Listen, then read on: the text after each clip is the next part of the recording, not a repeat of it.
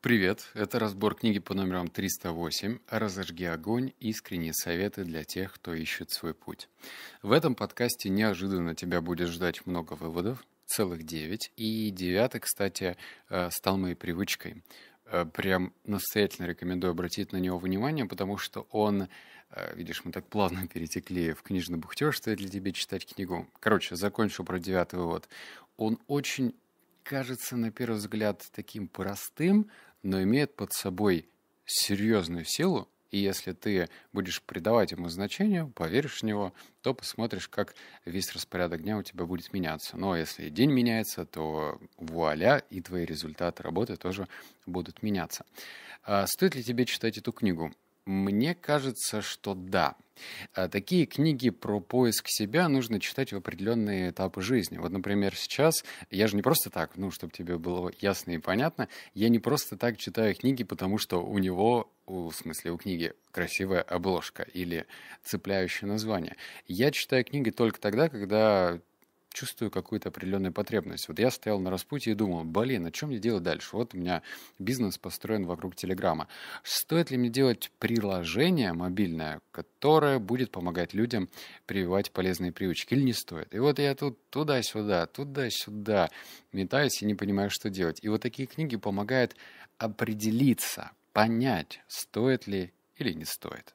Вот, поэтому если ты точно испытываешь подобные чувства, уволиться, не уволиться, э, заняться этим проектом или не заняться, то да, такие книги тебе помогут. А так, ничего прям сверхъестественного в этой книжке я не нашел. Так что на твердую четверочку, ну давай ты по выводам это и сам поймешь. Переходим к выводу номер один. Чтобы быть верной самой себе, да, кстати, э, автор женщина, и я буду читать от женского лица. Блин, меня это смущает, но все-таки. Читаю. Чтобы быть верной самой себе, нужно мужество. Иногда оно выражается как громкое заявление, иногда как бунт или пронизанная любовью клятва. Еще оно может принимать форму молчаливого убеждения, которое можно э, прочитать в ваших глазах. Верность себе, публично декларируемая или малозаметная, позволит основательно перетряхнуть убеждения, способы действия и ограничения. Ее сила позволит вам сделать то, что некоторые считают неосуществимым. Верность себе лежит в основе целостности и честности. Добиться ее зачастую трудно и не всегда удается безболезненно, но только она позволит вам жить по-настоящему полной жизнью. Эм, этот э, вывод, он про поиск такого внутреннего тумблера, который позволит тебе в нужные для себя моменты включать энергию. Давай на примере расскажу. Если ты не пьешь алкоголь, ну вот в свое время, например, ты пил или пила, неважно в каком объеме, будь это винишка или певчанский, а, вот ты пил, пил, пил, пил, пил, а потом всем своим друзьям говоришь, все, короче, я завязал, больше не пью. И с одной стороны, люди будут на тебя, ну, в смысле, предыдущее, твое окружение, смотреть на тебя, как ты что себя ограничиваешь, живешь один раз, давай, что ты, дурака валять перестань, сейчас шашлычков нажарим, бахнем пиво, и все будет хорошо. И вот в момент когда ты отказываешь, тебе кажется, что тебя убывает. Ну, вот если ты подходишь к этой привычке поверхностно, тебе кажется, блин, никакого веселья, буду сидеть, тухлеть, и что это вот, в общем, я отказываю. Но, как пишет автор, сила в целостности и честности. Если ты себя представляешь как целостная личность, которая не пьет, то этот отказ будет тебя наоборот наполнять. То есть понимаешь, да, логику? Вроде и в первом, во втором случае ты отказываешься от алкоголя, ну, раз уж мы этот пример с тобой разобрали. Но в первом случае ты вроде до конца не понимаешь, почему ты отказываешь, и в итоге у тебя энергии становится меньше. А во втором случае ты понимаешь, что только целостная личность в лице самого себя, любимого, не пьет алкоголь, а значит, это тебя наполняет. Потому что каждый раз, стоя перед вызовом, ты как бы level up, level up. Ну, короче, становишься сильнее. Вот номер два. Очень многие гонят вперед без остановок, надеясь достичь спокойствия, непоколебимой уверенности в себе или избавиться от тревоги. Но ведь абсурдно бежать в попытках найти покой, стремиться преуспеть, чтобы в итоге выйти из игры, или улучшить себя, чтобы наконец принять себя такое, какой вы есть. Это изнуряет. У людей есть замечательное качество – настойчивость в достижении желаемого. Мы на удивление ненасытны, у нас есть склонность непрерывно жаждать чего-то. Буддисты, которые всегда пытаются оторваться от этого колеса страдания, согласились бы, постоянная страстная тяга к чему-то – сущая мука. Но у сильных желаний есть и положительная сторона. Жажда приведет вас к внутреннему удовлетворению. Давай с тобой разберем метафору взлета самолета. В общем, э, если ты летал, да, то помнишь прекрасно этот момент. Э, если ты такой же, как и я, то я периодически до усрачки боюсь момента взлета. Бывает у меня такое, потому что я попадал в серьезные турбулентности, и это почему-то отпечаталось в моей памяти. Так вот, э, самолет, если я не ошибаюсь, э, уже во время полета разгоняет скорость около 750, может быть, 900 км в час. Но для того, чтобы взлететь, он набирает скорость, естественно, быстро, вот, ну, на колесиках своих, на шасси, да. И вот здесь вывод про цели. Если ты как бы и цели ставишь, и мечта у тебя посредственная, то ты как бы не взлетишь, вот если переводить на метафору самолета. Ты будешь э, ехать, ехать, ехать на этих маленьких колесиках просто по аэродрому. Туда-сюда, туда-сюда. И чтобы тебе реально взлететь, то твоя цель должна тебя наполнять, осуществлять и давать тебе супер вдохновение.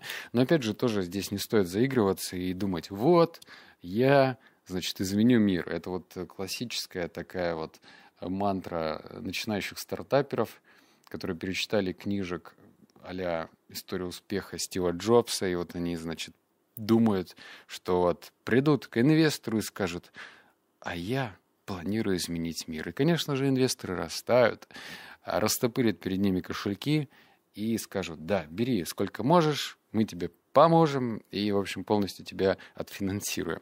Вот. Так, наверное, это не работает, потому что э, вот если из твоих уст вылетает вот эта фраза «изменить мир», и ты в нее не веришь, или даже не до конца, то это все-таки езда на шасси, на маленьких колесиках вокруг аэродрома. Не взлетишь. А значит, энергии, серьезной энергии, которая, как пишет автор, разожгет огонь, тебе не хватит. Вот номер три. Он про целостность. Вот я заикнулся про целостность в первом выводе. Давай-ка мы разберем, что это такое. Первое – это внутреннее единство. И второе – это самодостаточность, верность своим принципам. Если вашим заветным желанием не находится место в ежедневнике, а ваши истинные характеристики не отражены в резюме, то вы пренебрегаете силой, которая дает вам целостность. И мы с тобой вместе пройдем хороший тест – потому что после прочтения этих строк я сделал прям вещи, я тебе расскажу, что я за вещи сделал, которые тебе помогут даже привычку из этого сделать. Вот смотри, если ты пользуешься каким-нибудь туду-листом, ну, в общем, планировщиком, то у тебя есть список задач. И я сейчас не говорю про важное, неважное, нужное, ненужное и так далее. Ну, в общем, есть цели, да, задачки, которые либо ты сам себе формулируешь, либо на тебя спускает твой начальник. И вот если в твоих целях отсутствует какие-то косвенные или прямые задачи, связанные с тем, как ты будешь чувствовать себя счастливее, лучше, или будешь вообще расти как профессионал, то ты вообще не то делаешь. То тебе нужно прям на 360 градусов развернуться и поехать в другую сторону, понимаешь? Пусть это звучит э, немножечко романтично, типа, да вот как я это могу сделать, ведь мне нужно семью кормить, я все это прекрасно понимаю. Я знаю, что это такое, я знаю вот эти все основные отговорки, да, к сожалению, отговорки, э, средняя месячная зарплата по регионам, если не рассматривать э, богатые города те показания, то это все-таки 25, 30, 35 тысяч рублей. Как же можно говорить, вот как в моих целях и задачах могут быть какие-то э, такие великие цели, которые делают меня лучше. Мне бы справиться вот с тем-то, да, с тем ворохом задач. А я же не могу брать роль такого доброго папочки, похлопать тебя по плечу, ну я же тебя не вижу, да, и сказать, вот у тебя все получится. Надо даже сделать вот этот прыжок веры, ну, в какой-то момент. Можно и обосраться, конечно же. Никто не говорит, что все у всех получится, потому что это жизнь. Но даже если обосраться, то можно, ну, как бы пойти и умыться. Ну, все будет хорошо. Э, отрицательный сценарий будет не такой фатальный, как кажется на первый взгляд. А дальше у нас с тобой идет вывод номер четыре. Конечно же, с призывом к действиям. Он называется «Поиск внутреннего огня». А, это правильные вопросы. Я для тебя их приготовил и с тобой поделюсь этими вопросами. Также бесплатно, но нужно собрать с тобой 500 осмысленных комментариев. Ну, то есть, если тебе это интересно. И если тебе это интересно, то напиши вот под телеграммом, под аудиозаписью такие же умные, целеустремленные ребята, как и ты, которым это реально необходимо, они пишут осмысленные вопросы, ну, общаются, в общем, и так далее. Поэтому напиши, чтобы я понял, что тебе это интересно. А на вопрос, типа, а что это? А что этим не вопросы дают? Я вот тебе тут кое-что выписал. А, называется «Зачем вопросы?». Заданный вопрос зачастую дает толчок изменениям. Даже если у вас нет ответа, вот реально слушайся, даже если у вас нет ответа, толковый вопрос, как брошенный в воду камешек, способен всколыхнуть реальность. Поэтому прекрасный поэт Рильке, Рильке, да, Рильке, заклинает нас, проживайте сами вопросы, проживайте их сейчас. А для начала нужно задавать больше вопросов друг другу и себе, беспристрастно. Так вот, это к вопросу, а нужны ли вопросы? Вот такая тавтология получилась. И этими вопросиками по поиску обретения с тобой поделюсь, как только мы с тобой наберем 500 комментариев, и вообще я обнаглею и скажу, 700 лайков еще нужно набрать. Там можно тыкать пальчиком. Вот, надеюсь, тебе не сложно пальчиком тыкать в экран и набирать лайки. Там можно ставить большой палец. Вывод номер пять.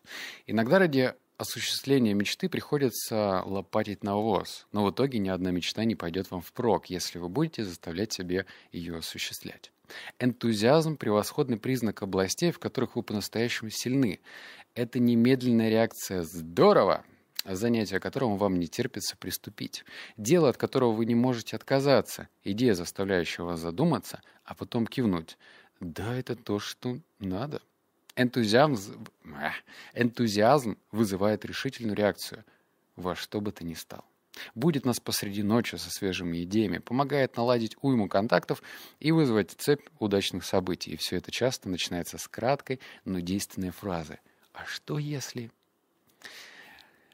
Вот он тебе ключик такой маленький-маленький-маленький. Если не внимательно слушал, пропустил. Автор говорит, что очень важно иметь энтузиазм. Но э, вот ключевое слово «иметь», да, он же как бы не всегда при себе. Ты же не ходишь в туалет с энтузиазмом, хотя, может, и ходишь. Или там на скучную вечеринку, встречу с одноклассниками, прогулку со старыми приятелями. В общем, этот энтузиазм, энтузиазм, он приходит и уходит, когда ему вздумается. Но в деле, в деле, особенно деле всей нашей с тобой жизни, э, энтузиазм пригодится – и автор советует, как этот энтузиазм позвать. Вот знаешь, можно, как это, я тут периодически просматриваю детские кассеты, и там вот был такой момент, когда в детском садике сидят маленькие дети, и, значит, им воспитатель говорит, давайте вместе позовем Снегурочку. Снегурочка! И все дети, конечно же, повторяют Снегурочка. А здесь, чтобы позвать энтузиазм, не нужно кричать «Снегурочка» или «энтузиазм». Нужно задать себе вопрос «А что, если...» и дать волю своим чувствам. Вот смотри, а что, если я уволюсь? И тут на тебя могут напасть такие страхи, типа я умру с голоду, помру в канаве. Это вот не тот сценарий. Его нужно прям сразу убирать. Негативное мышление и все-все-все вот эти вот приятности. Убираем. Вот прям метелочка. Так, Нам нужно с тобой э, подумать, а что, если я уволюсь?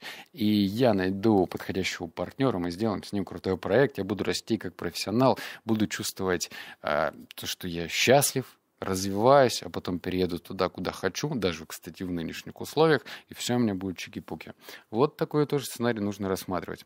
Вот номер шесть. Он, короче, спорный, реально спорный, но доверься мне. Если вы не понаслышке знакомы с психоделиками, кто-то сейчас такой, ой, психоделики, что это? Запрещенный в России препарат. Никто не спорит. Читаю, что написано. А, если вы не понаслышке с ними знакомы, или одолели три фильма в Филине подряд, вам не придется особенно напрягать воображение. А остальным же надо будет отыскать в себе потенциал для кайфа. Именно его мы сейчас будем ловить. Наверное, стоит выключить свет и лечь на пол. Давайте, я подожду. Вообще, вот я сейчас буду читать, и, конечно, наверное, это лучше попрактиковать, потому что практика реально интересная, но можешь сейчас тоже прослушать, понять, в чем соль. Читаю дальше. Представьте, что перед постановкой целей вы, например, приняли ЛСД – или сразу после затяжного прыжка с парашютом, еще опьяненный адреналином, составляете список того, что нужно успеть перед смертью. Начиная планировать свое будущее, просто представьте, что вы находитесь во взволнованном, необычном для себя состоянии. Вы бы с треском вырвались за привычные рамки. На месте прежних препятствий заиграли бы яркие цвета, а вы почувствовали бы себя непобедимой в костюме супергероя и уверенностью Леди Гага. Вы безумны, но это особое творческое безумие. И еще вы чертовски сексуальны. Вы вот-вот вызовете в мыслях колоссальные образы Вселенной. Вы видите яркую жизнь и восторги от нее. Походите по краю, за пределами разумного. Какие цели кажутся вам настолько потрясающими, что вы стесняетесь даже задуматься о них. Что доставило бы вам наслаждение своей абсурдностью? Сколько счастья вы бы вынесли? Что удивило бы даже вас? Почувствуйте кайф от этой экстремальной мечты. Сейчас должен достичь максимума. А, ну вот странно, да, говорить о практической части, если ты не попрактиковал вот то, что я тебе сейчас тут зачитал, да. Но могу тебе сказать следующее. Во-первых, поскольку я э, работаю в инфополе разных стран, и чтобы меня там ничего со мной не случилось, сейчас же вот всяким рэперам тут говорят, что они иногенты или там, ну, короче, им статьи всякие пришивают. Я про психоделики зачитал из книги, которая продается в книжных магазинах, и все, все, все взятки гладкие, ни к чему не призываю. Вот, это мне нужно было приговорить, потому что сейчас, знаете ли, многие люди на очке сидят, потому что страшно. Ну вот, поэтому мне нужно было тебе это сказать. А если у тебя нет никаких э, предрассудков на этот счет, то можешь попрактиковаться и найти интересное для себя решение, если ты чувствуешь какой-то творческий ступор. Идем дальше. Вот номер семь. Еще осталось три. Что подсказывает мечты? Парочку вопросов, если можешь быстро отвечать, ну, внутренне будет круто. О чем вы мечтаете? Закончите мысль о каждой мечте. Я хочу этого, потому что, ну, вот, например, ты хочешь дом, потому что Идем дальше. Повторите эту мысль, пока не почувствуете, что добрались до сути дела. Вот если ты будешь говорить «я хочу дом, я хочу дом, я хочу дом», то через некоторое время тебе будет это казаться абсурдным. Ну, типа, «Э, зачем я хочу дом? Потом будет появиться такой вопрос, потому что хочу выглядеть в глазах своих родителей, что я чего-то достиг, а почему я хочу выглядеть в глазах таким и так далее. То есть интересные мысли придут. Читаю дальше. Какие мечты наполняют вас воодушевлением, а какие умиротворением? А что если ни одна из этих мечтаний не близко вашему сердцу? Откажетесь ли вы от каких-то из этих мечтаний? С кем вы поделитесь своей мечтой? Кто уже знает о вашей мечте? Какие мечты вы решите осуществлять? Видишь, это опять же вопросики. И вот если ты ковырнешь свою мечту, вот знаешь, как ножичком, нужно вот так вот, или нет, к чего ножичком? Булавкой. Вот если заноза у тебя была в пальчике когда-нибудь, то, знаешь, неприятно, да, вот кто-то берет твой палец, надувает его, ну или, короче, кожу вот так вот стягивает, чтобы это оголить занозу, и залазит туда булавкой. Вот тебе нужно то же самое со своей мечтой сделать. Зачем? Затем, чтобы э, отфильтровать, а надуманное это или реальное. Потому что если ты надуманный, то через некоторое время ты можешь себя обнаружить в пустоши, так называемом. Вот идешь, идешь в сторону вот этого дома, да, и такой, а нахрена? А зачем? Ну вот, а, а, не хочу. А вот, может, мне вообще нравится городской стиль жизни. Какой мне тут дом? Или наоборот. То есть, понимаешь, тебе нужно ковырнуть, чтобы не пройти этот бессмысленный путь, а потом долго искать дорогу назад. Вот номер восемь. О чем вы сообщаете миру? Что, по-вашему, люди должны узнать, увидеть, понять, постичь в своей жизни?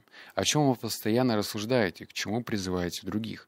Может быть, это свобода или лозунг? Поддерживайте искусство или поступайте с людьми так, как хочешь, чтобы поступали с тобой. Возможно, вы разделяете богемное кредо – любовь, истина, красота. Присмотревшись внимательно, вы увидите, ваше послание миру проявляется во всем, что вы делаете или хотите сделать со своей жизнью. Это важный момент, и вот тебе, опять же, практическое применение. Книга про «Разожги огонь», и если у тебя даже обыденные вещи, вот, например, точнее, обыденные профессии, например, бухгалтер, да, сколько-то, что сидишь, там бумажки, что-то заполняешь, подписи ставишь, проверяешь, все. Можно сказать, я бухгалтер, да, я бух... Как, я, я даже не знаю, как правильно слово бухгалтер пишется. Бухгалтер, да, вроде. И можно так говорить, а можно говорить, что я, значит, рыцарь, э, который защищает финансовые потоки нашей организации – вот что-то такое. Звучит по-детски, но знаешь, вот я сколько читаю э, книг, э, множество авторов говорят, что нужно учиться у детей. Дети же делают очень много, как-то, знаешь, неосмысленно, что ли. Вот я обращаю внимание, что у меня дочь, например, там йогой занимается. Нет, не, не в смысле там идет на занятия, ей год и семь, но она там что-нибудь возьмет в позу собаки встанет. Ну, кто загугли, как поза собаки выглядит. Я такой думаю, блин, откуда вообще у нее это, чё, как? Ну, то есть это все идет как-то от природы, что ли, вот как-то за нас заложено. Так и здесь. Если тебе кажется, что твоя миссия, твое предназначение звучит по-детски, наплюй, наплюй на то, как ты будешь выглядеть со стороны. Я вот знаешь кто? Вот знаешь, кто я? Я проводник людей в светлое будущее, да? И вот такое вот у меня пафосное название. Я не блогер, не книжный блогер, не хочу себя таким считать. Я проводник. Я помогаю тебе вот реально. Я же тебе помогаю время сэкономить на выборе литературы. Помогаю. Я прививаю любовь к чтению. Прививаю. Я понимаю, что это полезно. Понимаю. Я чувствую, что за этим результат. Да, чувствую. Ну, то есть польза. Польза. Я как кефирчик полезный такой. А не чипсы с Кока-Колой. Вывод номер девять. Вот про привычку. Он последний, и ты сейчас поймешь, почему в нем прям соли я на последний оставил. Короче, на десерт. Он называется так. Переосмысление конечные цели. У вас опять сверхурочные, а может сформулировать так. Вы зарабатываете на поездку в Майами в следующий отпуск, чтобы основательно перезарядить батарейки. Неохотно выползаете из постели для утренней пробежки, а может так, вы пробуждаете силы своего организма и задействуете дух творчества. Вы делаете людям стрижки, а если так, в ваш салон место, где люди исцеляются и показывают миру и внутреннюю, и внешнюю красоту. Вы официантка, а может так, вы учитесь любви и доброте и учите этому других. Поднимите глаза, оторвитесь от повседневных задач и окиньте взором чудесное пересечение вашего времени, любви и действий. Осознайте истинного значения, истинное значение своей работы – поддержит вас, когда рабочие задачи кажутся обделенными или невозможными. Вот опять же советик из разряда, ну что-то где, где вот эта практика? Вот же практика. Берешь свой список задач, смотришь на него. Если он выглядит сухо, то добавляешь эмоциональную часть, которая, может быть, и будет выглядеть по-детски, но в то же время она будет тебя заряжать, потому что у тебя таким образом появится цель. Я на эту тему записал подкаст в 52 недели одержимости. Выйдет не знаю когда, на следующей неделе скорее всего, понедельник-четверг. И там рассказал на примере, что я делаю для того, а, как добавляю эмоциональную часть. Ну, то есть, вот, например, а, стоит задачка, вот, а, найти там специалиста по Android или iOS разработки, ну, для мобильных приложений. Ну, скучно, да, можно написать дедлайн, да, до конца недели, до определенного времени, сделать рассылку, добавить шаги определенные. Это все по смарту, да, когда ты цели ставишь. Но это скучно, как на английском born, да, или burning, вроде так.